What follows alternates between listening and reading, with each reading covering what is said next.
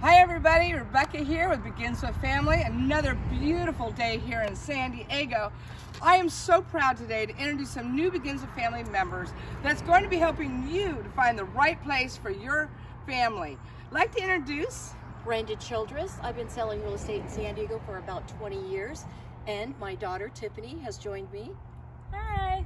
You want some realtors that are hungry, that's going to find you the right house, that's going to show you around, that's going to find you an incredible deal like over here that is, is I want to have to have.